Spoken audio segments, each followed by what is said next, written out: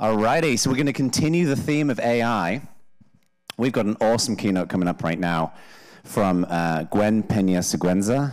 Gwen is a, a, cloud advocate at Microsoft. Um, also has an amazing YouTube channel which you should 100% check out. How many of you have been using GitHub Copilot?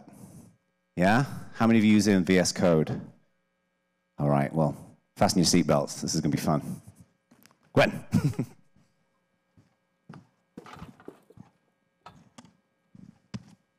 wow, thank you so much for plugging my YouTube. That was awesome. Was not expecting that. Hi, everyone. Um, hope you're having a great All Things Open, meeting cool people, learning cool things. This is my first time here. This is actually my first time on a stage. Wasn't supposed to be here, found out a couple days ago, but we're going to figure this out. Uh, do more using AI and GitHub. Thank you. Yeah, all right, yeah, sure.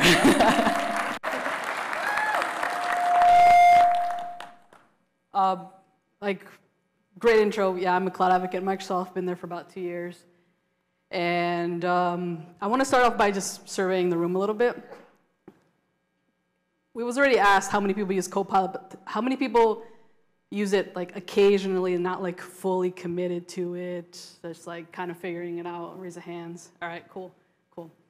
Um, over a million developers use Copilot, which is astonishing. Um, and I found myself sort of trying to figure out what it actually means. Like Emily mentioned, like we have these tools available, now it's our, up to us to figure out what it looks like for us. Um, developers are coding 55% faster, are 75% more fulfilled, which I have no idea how they track that. It's probably all that regex that we don't have to write anymore, so we're a lot happier, right? And then up to 46% of code is By Copilot to good to go? Good to go? All right, cool. By Copilot for developers, which is awesome. And now with Copilot X, we have this same productivity, the same efficiency throughout chat, voice, PRs, CLI. GitHub Universe is right around the corner. I'm sure plenty of really cool things are going to be announced there, so be sure to check that out. And you know, we have AI now at every step of our, of our workflow, but all this sounds very lovely. And like I mentioned, back in August, I first saw this information. I'm like, well, what does this mean for me? Like, how do, how do I, how, I want to I wanna be 75% more fulfilled. Like, how do I do this? So, as you all know, it's not something that you just install and you become very great, great at, right? It's like a skill. Like everything else that we've learned in the tech field is something that we have to work on, we have to get better results, we have to learn from it, and then I can switch to like a handheld if that's easier. Want to do that? Yeah. Is this one off? All right, cool, cool. I feel like a stand-up comedian now. All right. Um, yeah, so you know how they say when you want to learn something, you got to go and just build stuff with it, right? Which I think is great advice. And then the good thing about being in the tech field is that we're always building something, and we always like working with like the new thing because it's like one day it's serverless, and the next day it's serverless is dead, and then the next day it's containers, and the next day it's like containers are the worst thing that's ever happened in the tech industry, and then we're back to monoliths, rinse, lather, repeat. But the important thing is that we're always trying to keep our skills sharp. So kind of had that going for me, right? But then another great piece of advice that people tend to give when it's like, what do you, what should I build this? Well, build something that solves a problem that you have, which I think is great advice. So here is my problem. I'm a .NET developer, which is not the problem. It's some context, all right? Any .NET devs? We need a, yeah, yeah, I love it. All 10 of y'all, you're my people. Um, but I, the, the issue is I had a project that I wanted to build for a talk that I'm delivering later today. And I knew I want, I had the idea, and I knew I wanted to do it in Python, but I don't know Python at all. But I had some programming skills, so I was like, all right, let's figure this out. Uh, so I did what everyone does. Well, you, people usually buy domains, but I started a GitHub repo because that's how you make a project official, right? And this was about three weeks ago. I procrastinated a lot, yes, please don't judge me. I know you all do it, but I started up a repo. How many people here are familiar with cloud certifications? Things like the AZ104, AWS, GCP, oh, yeah, great. I love certs. I don't have many, but the, the ones that I do have, uh, have made a big impact on, on my career earlier on, especially as a college dropout. I really needed anything that could give me a little bit of an edge on my resume, and Certs did that for me. I, I think it was 2017. It took me like six months to pass my first certification, and I remember one of the hardest parts being coming up with ideas for projects to build. And now, because of stuff like on YouTube and advocacy, I, I get this feedback oftentimes from students and people who are taking certs, like, hey, like I want to get hands-on, like how to, but I just don't know what to do. So there was my problem that I wanted to solve. So there's a lot here, but we'll step through it. This is actually the project that I ended up building. I have uh, VS Code and I have this extension called Thunder Client. I don't know if anyone's used it. It's one of my favorite extensions. Essentially allows you to work with APIs inside of VS Code. And uh, I have a prompt here that says, I think it's asking for a project idea for the AZ-104 certification, which is a cloud admin-based certification. And my API returns a project name, a project description, services, skills, and overall steps to complete the project. Here is a snapshot of the UI. I have no artistic ability whatsoever. Like circle, I can't draw it, I can't. But this is something I put together and it works, so hey. Um, and alongside Copilot this is an uh, like very general version of the architecture. I got hands-on with stuff like uh, Python SDKs for cognitive ser services, uh, Azure OpenAI, Cosmos DB, Python Azure Functions, things like that. The meat and potatoes of the project is I implemented a vector search with these services. Anyone familiar with a vector search, what that is? No, don't worry. Two weeks ago, I had no idea. So expectations low, all right? Now, a vector search, essentially there's like a bunch of data. Like think about a lot of data and then multiply that by 100 or like 1,000, probably more. And then you have to find some kind of results against another set of data. So some really smart people figured out that, well, at scale, if you try to make these comparisons with their semantic meaning or their semantic value, it doesn't really work. It's slow, it's expensive, all that good stuff. Or bad stuff, I should say. So then they were like, why don't we create some numbers for the data called the vectors, which are in those uh, square brackets there and then use those to run the comparisons. And they figured out that, hey, it works.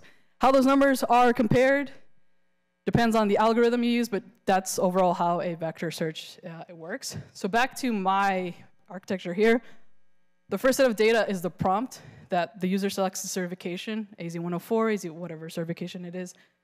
Then I send that off to an uh, embeddings model that I have on Azure OpenAI generates the embeddings for me, and then I make a, that's the first part of my vector search, against a bunch of information that I have indexed in cognitive services, and that information is just stuff that I've manually pre prepared, all the uh, certifications that I've gone through, I've done some research, put together some re relevant skills and services and stuff like that, and I've loaded that up into uh, my search index, and then I can say return five similarities or uh, five results, three results, something like that, and it does that. Then the original prompt and the uh, results are returned to a completions model on Azure OpenAI, and that uh, generates the completion for me, which is returned to the user. So again, three weeks ago, and I got sick halfway, so it's more like two weeks. Um, so two weeks ago, I knew nothing. Again, this is what my project looks like now. I'm very confident in the skill set I have now, and there's plenty of things that I want to work on, implement, and at some point put in production for sure. But before those two, three weeks, this is what I knew. And honestly, functions should not even be there, but it was gonna be too empty of a screen, so I didn't wanna like remove it. So this is what I knew, right? I had many moments of struggle, success. You know that itch that you can only scratch when you, you work through something technical and you figure it out, like, oh yes, it works, right? I had many of those moments too. And throughout all the ups and downs, I had Copilot. So I want to share with you a couple of things that I learned throughout this journey of actually figuring out what leveraging this, these tools look like for me. And the first one is this setup. There's a lot going on here. We'll break it down. But I like to call this my, my, my priming my brain setup. When we start a new project, we all go through docs, tutorials, I don't know, books. There's like that phase where you're like trying to figure out what you're doing, right? I find that this setup for me works great for that. At the middle, we have some code that I found in a tutorial. Like we don't, no one hears codes from scratch. Like don't lie to me. Like we all, we, yeah, we all start from somewhere, right? But we need to take the step of understanding what's going on, right? So this is essentially uh, defining parameters for my vector search, which again, I had no idea. So I have a line selected in here, which says the metrics parameter, right? On the top left, I have one of my favorite slash commands in uh, GitHub Copilot chat, which is the explains. I use this all the time. Highly recommend you check it out. There's a couple of commands there. This is one of my favorites. And then essentially what's going on here is I've asked Copilot to explain this line for me. And this is how I worked through understanding this code. So now I know that cognitive search uses this algorithm called, give me a second because this word is difficult for me to pronounce, hierarchical navigable small worlds, all right? And there's a bunch of parameters that you need to set. Essentially, it's an algorithm that will graph all your, your vectors in a multi-dimensional space. And in order to find similarities, it doesn't matter where they're located, it doesn't matter the, the, the size, it just matters how they're angled. So setting it to cosine is uh, essentially a parameter used when you're trying to find similarities. And again, I knew none of this before uh, getting started. And what I really like about this is like you can continue asking questions, but you see there at the bottom in the blue, it's, sort, it's, it will sometimes give you relevant questions to what you're asking, and it almost pushes you or encourages you to dig deeper, to understand more, which I really, really like. And on the right side, good old Markdown. I love Markdown for taking notes. It's important to, for me at least, to make sure I'm understanding, synthesizing. Later, this can turn into a blog post, this can turn into a YouTube video, share my learnings, and continue nurturing the community. Um, altogether, this is something that I really like doing when it comes to figuring out what I'm working on. As you start writing code, or as I started writing code, Command I, invoke Copilot. You can ask a quick one-off question if you don't need more context. If you do need, do need more context, you can switch into viewing it into the chat, which I really like. Um, I don't know about y'all, but I like not having to move to another application, another window, context switch. It does wonders for me to avoid distraction. I get distracted very easily. Um, another thing that I really like doing is this. We're familiar with creating comments to generate code. I have here a couple of comments. It's in that yellow there. Um, I think what Emily mentioned about prompt engineering is, is very true. It's not necessarily a skill that you directly have to go sit down like, oh, today I'm going to study prompt engineering for two hours. I don't think that's it. It's more so the more you work with it, the more you develop a better understanding of what you're doing, the better you can explain it, and the better results you get. So it's sort of like a byproduct of working with it, right? So anyway, I have some, I have some uh, comments here to generate some code. And then if you hit Control Enter or Command Enter, um, Copilot will synthesize, which is that right side there, synthesize some solutions for you. But then I like to take it a step further, highlight all the solutions, and ask Copilot, hey, which one of these is best? Which one fits best for me? And sometimes it'll tell you this, is, this solution is wrong, this solution returns the wrong status code, this solution will work, and you can ask it, why will this not work? Why will this work? And things like that, which when you're getting started with a new language, helps a lot. Someone to tell you what's right, what's wrong. Obviously, you still have to verify and all that good stuff, but that ability to verify information will come as you get better, right? Uh, finally, of course, Copilot is not perfect, and I'm a fan of using all the tools that you have available. Use them. If they're AWS tools, do it. If they're Microsoft, do it. If they're Google tools, whatever it is, do it. Because ultimately, it's about you becoming a more efficient and productive developer. I definitely have my moments of frustration. Here's a longer chat that I had um, with Copilot. Essentially, I'm trying to get it to, to make a system prompt for me. And it was very frustrating. It, it, it, like couldn't do it. And these are two snippets. And obviously my tone is neutral because because I'm like, it's text, right? But that last one says, do you know what a system prompt is? But really I was feeling like, do you know what a system? Chuck the mouse kind of thing, right? And it, and it, yeah, and it couldn't figure it out. I should file that as a bug. I will after. Um, but then I went to Bing, shameless plug, um, went to Bing, and after like a, an additional message, I got a, a, good clarification. And the system prompt, I tweaked it a little bit, but this is actually what's working, and, and it gives, it's giving me great results. So I'm definitely more fulfilled. I don't know if it's 75%, but I'm working faster. I'm, I'm gaining a deeper understanding of what I'm working on, and I don't know about y'all, but for me, that, that definitely makes me feel happier with my work, more fulfilled and more content with my work. And Copilot has written a significant amount of code for me. Obviously, there's verifications, there's deeper understandings, and things like that. But um, that leads me to my last question. How will you all do, more so an encouragement, to go and figure out, because it might be a different workflow for everyone, but how will you all do more with GitHub Copilot? Thank you so much.